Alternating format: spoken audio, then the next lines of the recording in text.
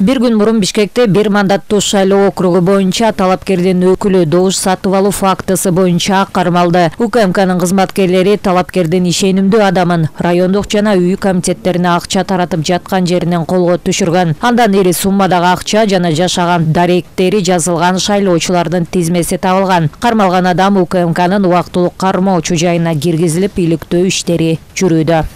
Документы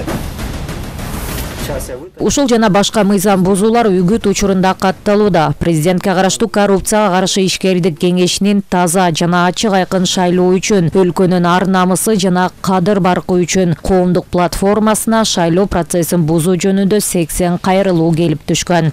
Социалдык тармактарда жүрөт лелек районунда мыйзам бузуулар болгон деп. Мыйзам бузуулар болгон ошол мамлекеттик э, кызматкерлер тарабынан мыйзам бузуулар болгон дейт. Ушул э, испананын мэри рыспаев чыңгызбек э, э, он жетинчи лицейдин директору иноват нематова маданият үйүнүн директору назакат бекназарова тарабынан дагы бир чуулуу окуя бир күн мурун маалымат каражаттарына жарыяланды. Сузак районунун акими баратбек сыдыкназаров жогорку кеңешке ишеним партиясынан депутаттыкка талапкер шерзотбек умарбековдун үстүнөн арыз жазды акимдин айтымында талапкер телефон аркылуу сүйлөшүү учурунда аны коркутуп үгүт иштерин жүргүзүүнү талап кылган. Азыр жалал абад областу боюнча жети э, жети арыз катталган ошол шайлоо мыйзамдарын бузуу боюнча ошол арыздар азыр каралып бул көбүнчө бул ишеним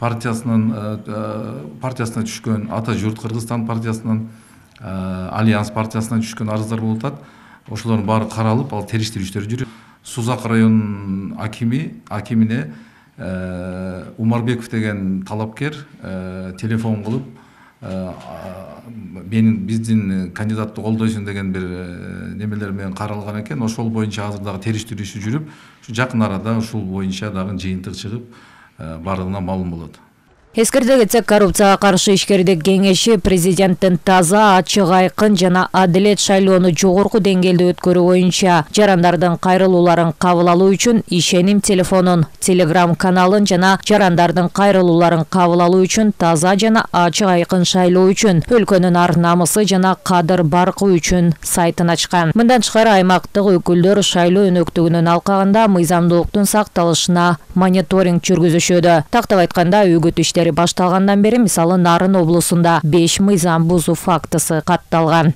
демонстративно э, ошондой бир кадамдарга барганга туура келип калышы мүмкүн анткени э, андай чара кылбасак таза шайлоону коомдо биздин э, калыптандыра албай калышыбыз мүмкүн да.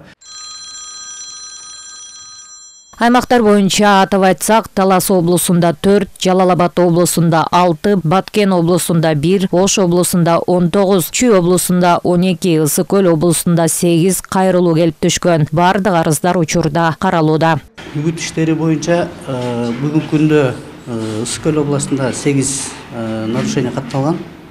Сегиз нарушение тең азыркы күндө кароодо. Э, ошол маалыматта эми э, ар бир жаранга айта кетет элек э, шайлоо боюнча если бузуулар бир нерселер фактылар болуп каттала турган байкалуучулар боло турган болсо күндө ишеним телефондору бар ошол менен кайрылса болот эске салсак президенттин алдындагы антикоррупциялык ишкердик кеңеши кеңеш берүүчү орган болуп эсептелет. Жана өлкөнүн социалдык экономикалык өнүгүүсү боюнча түздөн түз сунуштарды берүүгө тийиш. Учурдагы шайлоо процессине багытталган платформа жарандарды добуштарын сатпоого чакырат.